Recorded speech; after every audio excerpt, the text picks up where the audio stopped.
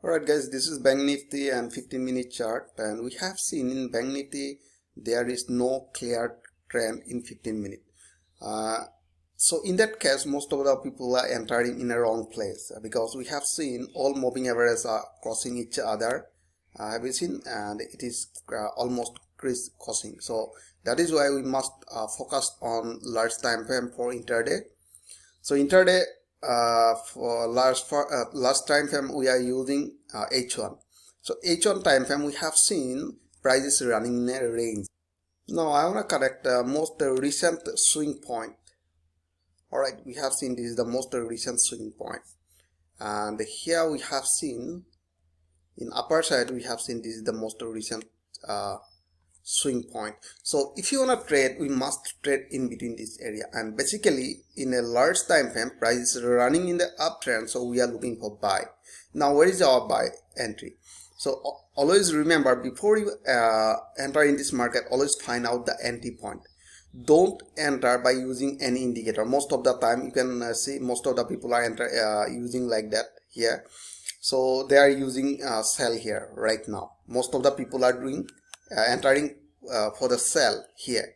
Uh, who people are not making their setup trading setup. This is called trading setup. So trading setup shows us where to enter in this market.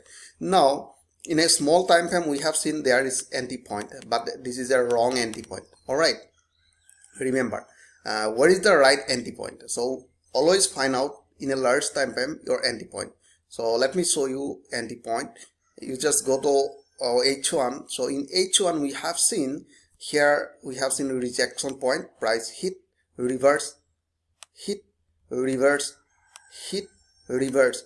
And we have seen three supporting point in in this area. So basically we are looking for if price hit again in this area we are looking for buy in this area. That is our buy opportunity. So you can see at that time we have seen this is a support line and we are looking for a uh, bullish candlestick pattern so if you want to enter here we must close our position in this area. All right so it, uh, it is pro uh, probability to reverse back again. So that is why we must close our position. Don't be uh, greedy. Right most of the people are thinking the price will go up continue from this area. So don't do that. If price break this level then again you enter for the buy. All right first we must close our position or most of the people are doing like that uh, they bought suppose 10 lot here. Uh, 10 lot. So they are closing at least 5 lot. All right so that is also good trading strategy. And basically i close all of all of my lot here.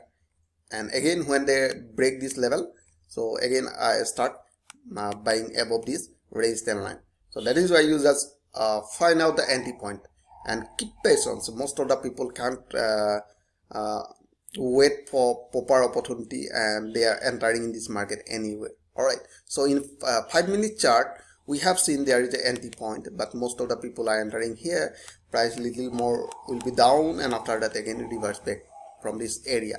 So you just wait to retrace toward this supporting line. All right and place your SL just below here and set your target at least one is to two trading ratio right? That is most important uh, trading ratio. All right. So uh, price is running uptrend so that is why we are looking for uh, buy only. So we are not interested to take any sell because in a large time frame price is running in a uptrend so i hope you enjoyed this video. If you like this video please like and subscribe and thanks for watching